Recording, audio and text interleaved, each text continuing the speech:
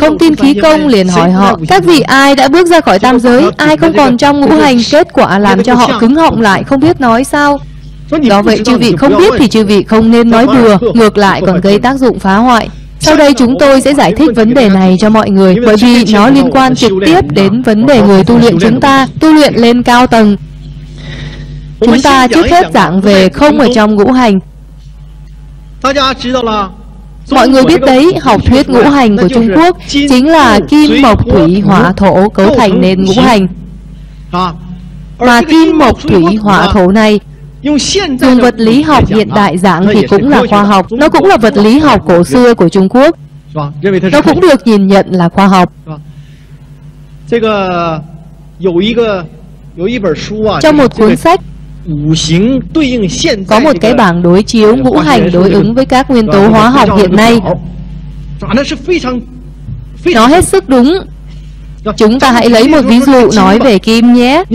Bất kể là vàng, bạch kim, sắt, trì, thiếc, đồng, bất kể là thứ gì thì nó đều thuộc về kim. Có đúng vậy không?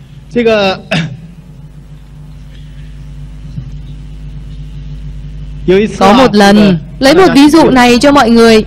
Có một lần,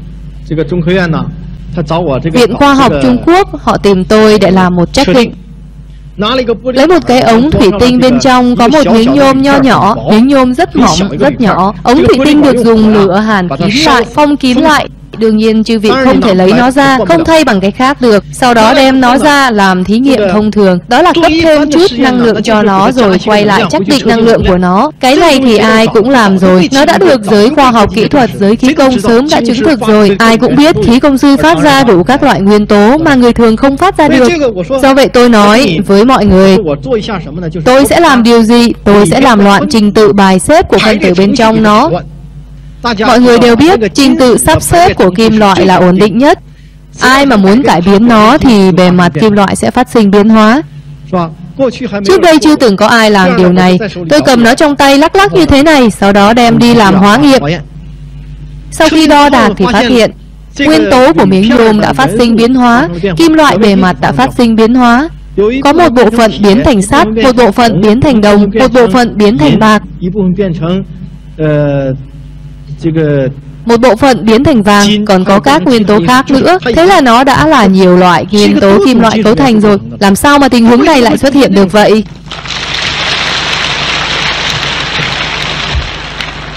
Tại sao lại xuất hiện tình huống này được? Chính là vì tôi đã làm nó nổ một cái, chính là làm loạn trình tự sắp xếp của phân tử bên trong nó và xuất hiện loại trạng thái như vậy. Vậy cũng nói là ý nghĩa ví dụ vừa rồi tôi đưa ra chính là để nói với mọi người rằng kim mộc thủy hỏa thổ ngũ hành này tôi nói nó chính là vật lý học cổ đại của Trung Quốc. cho nên nó là khoa học.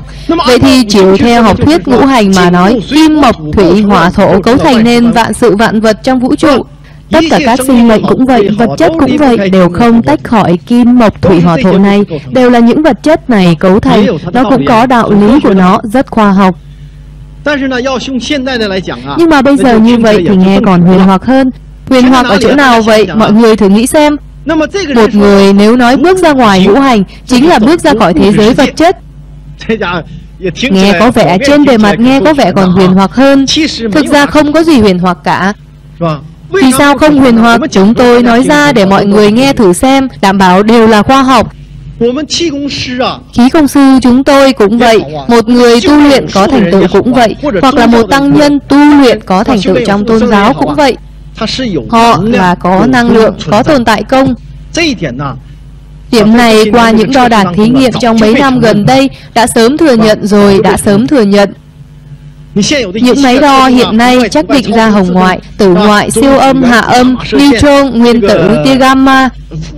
Rất nhiều, rất nhiều các nguyên tố vi lượng. Chư vị chỉ cần có một loại máy có thể đo đạc được thì đều tìm thấy trong những thành phần mà khí công sư phát ra. Hơn nữa nó còn rất lớn. Tầng thứ của khí công sư càng cao thì vật chất này phát ra càng nhiều. Vì sao người thường không có? Điều này chứng minh rằng khí công sư là có công. Dưới tác dụng của một trường điện từ đặc thù, khí công sư có thể phát ra ánh quang huy rất mạnh mẽ, các loại màu sắc rất đẹp. Đương nhiên người thường cũng có một loại hào quang của sinh mệnh, nhưng nó rất nhỏ. Họ mà động niệm một chút để phát ra ngoài thì còn mạnh hơn nữa Rất mãnh liệt Cũng là nói Người tu luyện là có công có công tồn tại. Có loại vật chất cao năng lượng như vậy tồn tại. Mà cái công này tôi giảng rồi Nó không giống như chúng ta vẫn nói. Hôm qua tôi giảng về kết đan Nó chỉ là quả bom. Vì để chuẩn bị cho ngày cuối cùng khai công của chư vị. Một khi nó nổ Thì sẽ phóng thích công năng của chư vị. Trăm mạch nổ thông. Nó chỉ bất quá là có tác dụng ấy. Cho nên nó không phải là toàn bộ dự trữ của năng lượng Nó chỉ là một bộ phận 是吧？Công pháp tính mệnh song tu chân chính liên quan đến ra khỏi ngũ hành. Không phải công pháp tính mệnh song tu thì nó không giảng tu bản thể. Cho nên nó không giảng ra khỏi ngũ hành. Họ chỉ giảng nhảy ra khỏi tam giới, không giảng bước ra khỏi ngũ hành. Công pháp tính mệnh song tu giảng bước ra khỏi ngũ hành Bởi vì họ phải cải biến bản thể. Thân thể cần ly khai khỏi thế giới vật chất Ly khai khỏi môi trường vật chất. Kỳ thực người tu luyện này họ vẫn phải tu luyện trong người thường. Trên bề mặt thì người thường nhìn không ra Nhưng mà năng lượng kia không chỉ tồn trữ ở cái đan của đan điền tồn trữ ở chỗ nào? Mỗi tế bào của thân thể chư vị đều tồn trữ năng lượng. hơn nữa phân tử, proton, nguyên tử, electron thậm chí truy xét xuống nữa. một mạch cho đến bản nguyên vật chất ở mức cực vi quan. đều đang phát sinh cải biến. Người ta dạng rằng luyện công là từ bên trong mà cải biến thân thể người. Tất cả các tế bào phân tử đều phát sinh một loại biến hóa về bản chất nên cũng nói chúng đều đang tích tụ năng lượng Tất cả các tế bào vi quan của toàn bộ thân thể chư vị đều đang tích tụ năng lượng. Mà cái năng lượng được tồn trữ này Bởi vì nó tồn trữ ở trong tế bào. Nên nó giống với hình thái của tế bào của chư vị. trong nhân tế bào của chư vị tồn trữ năng lượng nên nó giống với hình thái của tế bào của chư vị. Nhưng mọi người biết không, tùy theo việc công lực của chúng ta không ngừng đề cao, mật độ của vật chất năng lượng này sẽ càng ngày càng lớn. Khi mật độ càng ngày càng lớn thì sẽ phát sinh biến hóa gì? Nó sẽ vốn dĩ là vật chất cao năng lượng tiêu xuất khỏi tế bào bình thường của chư vị. Nó sẽ ức chế vững chắc tất cả các tế bào vốn có của chư vị, thay thế tất cả các tế bào vốn có của chư vị. Chư vị có lẽ sẽ không tân trần đại tại nữa, nó đã hoàn toàn bị sung mãn. Thay thế bằng vật chất cao năng lượng này, những tế bào ban đầu đã bị loại bỏ đi rồi. Nhân tế bào của chư vị cũng sẽ bị nó thay thế. Khi đạt đến bước này, mọi người thử nghĩ xem, Thân thể của chư vị có còn là thân thể cấu thành từ ngũ hành không? Chư vị là do vật chất năng lượng cực kỳ phong phú gom tròn từ không gian khác Do những thứ tinh hoa trải qua diễn luyện cấu thành Chư vị có còn là thân thể cấu thành từ ngũ hành không? Chư vị không còn như vậy nữa rồi đã phát sinh biến hóa về bản chất rồi Vậy thì mọi người thử nghĩ xem Đây có phải là bước ra khỏi ngũ hành không? Thân thể như vậy nó sẽ không tự nhiên lão hóa, Sẽ không tự nhiên tiêu vong sẽ thanh xuân mãi. Đương nhiên, nói ra thì dễ, nếu muốn làm được đến bước này thì người đó có lẽ phải trải qua một phen tu luyện gian khổ mới có thể đạt được. Nhưng người này vẫn phải tu luyện trong người thường, trên bề mặt vẫn không thể để người thường thấy họ khác thường. Người ta thấy họ như thần tiên vậy, không động đến họ được.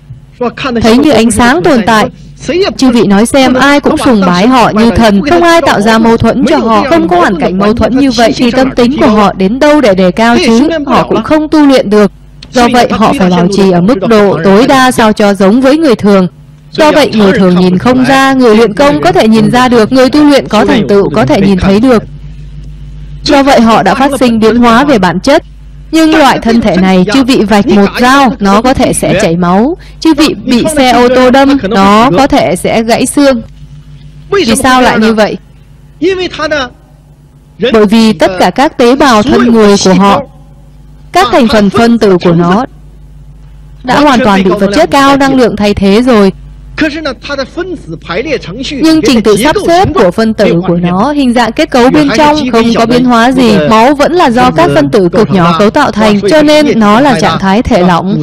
Xương thì cứng, thịt thì mềm. Trình tự sắp xếp của các phân tử bên trong của nó chính là như vậy, cũng chính là trạng thái. Hình thái sắp xếp của các phân tử của họ không phát sinh biến hóa gì, cho nên trên bề mặt giống với người thường, không nhìn ra được. Nhưng nó đã phát sinh biến hóa về bản chất rồi. Nó chỉ khác biệt ở một tầng da Cái vỏ này mà được bỏ đi thì người này về bản chất là đã khác rồi.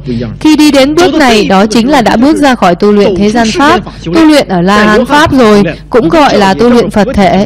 Với thân thể như vậy có còn là nhục thân của người thường không?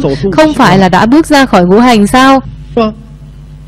Mọi người đều biết như chúng ta vừa giảng, trên thân khí công sư có công, có vật chất năng lượng tồn tại. Loại vật chất năng lượng này tồn tại trong mỗi tế bào. Đương nhiên dần dà nó sẽ thay thế tế bào này. Khi nó càng ngày càng sung mãn, thì chẳng phải nó sẽ khởi tác dụng như vậy sao? Giảng ra thì chẳng phải đều là khoa học sao? Nào có mang sắc thái mê tín gì? Có một số thứ mà chúng ta hiện nay vẫn chưa thể nhận thức được. Nhưng có những điều cũng không phải là tuyệt đối không nhận thức được. Có một số khoa học mũi nhọn đã phát hiện ra một số sự việc có Chỉ có điều chưa phổ biến trong xã hội. Nhưng mà ngay cả hiện nay những thứ người ta nhận thức được trong giới khoa học kỹ thuật của chúng ta Đã đủ để cải biến sách giáo khoa hiện nay của chúng ta. Nhưng xã hội hiện tại chịu ảnh hưởng rất sâu bởi lý luận giáo dục truyền thống này Người ta rất khó khó tiếp thụ nó. Rõ ràng bày ngay trước mắt mà cũng không dám thừa nhận nó. Vừa rồi giảng là về không trong ngũ hành. Sau đây tôi sẽ giảng một chút về ra ngoài tam giới. Cái gì gọi là ra ngoài tam giới? Kỳ thực điều này nghe về ra ngoài tam giới nghe còn huyền hoặc hơn Trước hết chúng tôi giảng một chút, chúng tôi giảng là không thể tách khỏi nguồn gốc lịch sử của danh từ này. Đây không phải là danh từ do giới tu luyện chúng ta hôm nay sáng tạo ra, cũng không phải là danh từ do khí công sáng tạo ra. Nó là danh từ do giới tu luyện, giới tôn giáo cổ xưa lưu truyền. Vậy thì tam giới mà tôn giáo nói đến này là chỉ cái gì vậy? Mọi người biết đấy, đạo giáo dạng 9 tầng trời lớn, Phật gia thì dạng 33 tầng trời. Bất kể là chư vị giảng bao nhiêu tầng trời, 9 tầng trời và 33 tầng trời mà họ giảng đó trên thực tế là một bởi vì mỗi tầng trời có 10 tầng trời nhỏ. Hiện giờ còn phức tạp hơn đều đã loạn hết cả rồi Chính là cái kết cấu này nó có một phạm vi nhất định. Chính là họ cho rằng cái tam giới này Không kể là chư vị có bao nhiêu tầng trời Dù sao thì